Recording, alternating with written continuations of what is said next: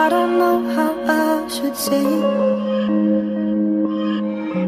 In my mind, there's every word that they don't wanna hear. I don't know how they might take it. Maybe you can take the pressure and make it disappear.